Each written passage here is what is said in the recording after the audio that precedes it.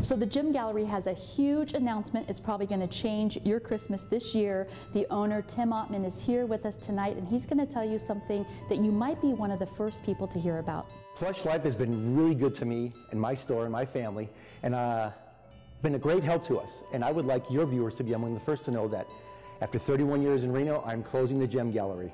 I'm going to sell all of my $3.2 million inventory uh, at up to 70% off. That includes loose gemstones, gemstone jewelry, pearls and pearl jewelry, loose diamonds, set diamonds, bridal. All my bridal is going to be up to 70% off. Uh, my custom jewelry, which is going to kill me, but because they're my babies, uh, I'm going to let them go at a discount too. I've never done that before. So please come in and see what I've got. It's all going away up to 70% off. Okay, Tim, so after 31 years, I and probably our viewers are also wondering why now? I've been doing this for 38 years, uh, 31 of them here as having my own store. Many, many years in the early days, uh, 80 hour weeks. Uh, kind of takes a toll on the body. I would like to take some time off, uh, take my wife traveling around the world a little bit, play a lot more golf, get a little better. The handicap needs to be lower.